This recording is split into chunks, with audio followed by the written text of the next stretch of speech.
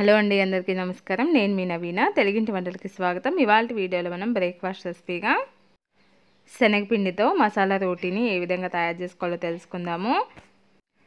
ఈ మసాలా బేసన్ రోటీ చాలా సింపుల్గా చాలా టేస్టీగా ఉంటుంది. ఇప్పుడు దీన్ని మనం ఎలా తయారు చేసుకోవాలనేది తెలుసుకుందాము. దీనికోసం ఒక కప్పు శనగపిండి తీసుకోండి. అలాగే ఒక కప్పు గోధుమ పిండిని కూడా తీసుకోవాలి. మనం రెండింటిని కూడా ఈక్వల్ క్వాంటిటీలో తీసుకున్నాం. ఇప్పుడు సరిపడినంత సాల్ట్ వేసుకోండి. ఇందులోనే కొద్దిగా కారం వేసుకోండి. అలాగే కొంచెం పసుపుని కూడా యాడ్ చేసుకోండి.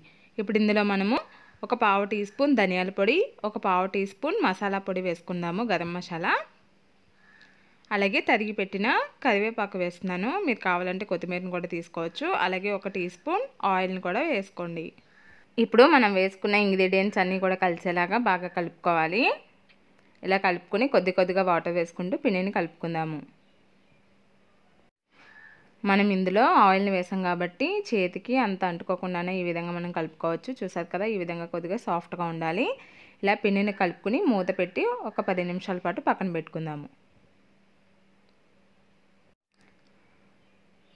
ఇలా ఒక పది నిమిషాల తర్వాత పిండిని మళ్ళీ ఒక రెండు నుంచి మూడు సెకండ్ల పాటు బాగా కలుపుకోండి.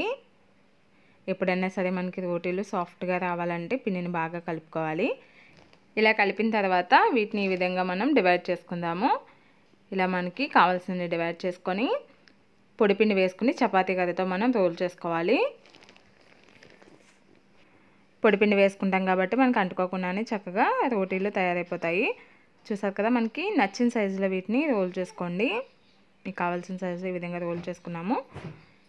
ఇలా రోల్ చేసిన తర్వాత చేత్తో ఈ విధంగా పొడిపిండిని తుడిచేసుకోవాలి ఇలా రెడీ అయిన వాటిని ఒక ప్లేట్లోకి తీసి పెట్టుకుందాము. మిగతా వాటిని కూడా సేమ్ ఇదే విధంగా చేసుకోవాలి. ఇప్పుడు స్టవ్ పైన తవ పెట్టుకుని బాగా వేడైన తర్వాత నెయ్యిని ఈ విధంగా అప్లై చేసుకోవాలి. మీరు కావాలంటే ఆయిల్తో కూడా వేసుకోవచ్చు. నెయ్యి అయితే టేస్ట్ అనేది బాగుంటుంది. ఇప్పుడు దీనిపై నుంచి కూడా నెయ్యిని అప్లై చేసుకుందాము.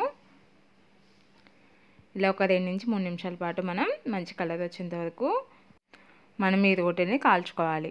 చూసారు కదా ఒకవైపు కాల్చుకున్న తర్వాత రెండో వైపు కూడా తిప్పుకుందాము. ఇటువైపు కూడా ఒక నిమిషం నుంచి రెండు నిమిషాల లోపు మనం వీటిని కాల్చుకుని ఒక ప్లేట్లోకి తీసుకుందాం. అంతే చాలా సింపుల్గా ఎంతో టేస్టీగా మసాలా బేసన్ రోటీ తయారైపోయింది. ఎప్పుడు ఒకే రకమైన రెసిపీస్ తినే కంటే కూడా అప్పుడప్పుడు ఇలా కొత్తగా ట్రై చేయండి. ఇది కనుక మీకు నచ్చినట్లయితే మీరు కూడా ట్రై చేసి ఎలా వచ్చిందనేది నాకు కామెంట్ చేసి తెలియజేయండి. ఇలాంటి మరిన్ని రెసిపీస్ కోసం తెలుగింటి వంటనే సబ్స్క్రైబ్ చేసుకోండి. వీడియో నచ్చితే లైక్ చేసి మీ ఫ్రెండ్స్ అందరికీ కూడా షేర్ చేయండి.